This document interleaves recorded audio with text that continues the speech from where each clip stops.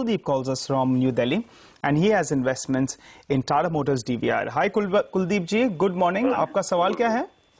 मेरे पास Tata motor DVR के एक हज़ार शेयर है तीन सौ पचहत्तर पचास तीस पैसे के भाव। राइट सर और सर आप लॉन्ग टर्म इन्वेस्टर हैं?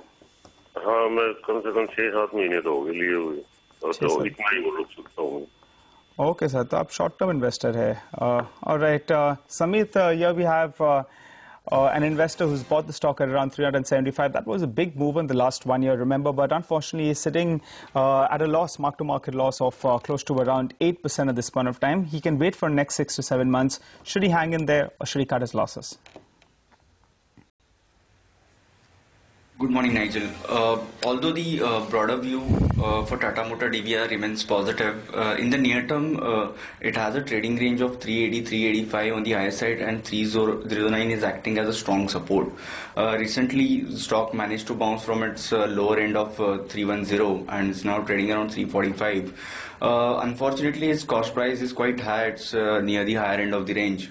The breakout would get confirmed only on a sustainable basis once the stock uh, surpasses 385.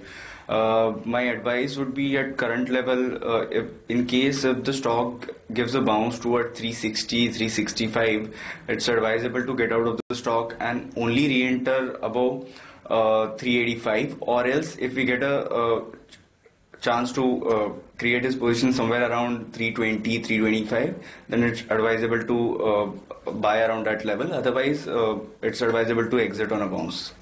All right then exit on the bounce is the advice that's coming in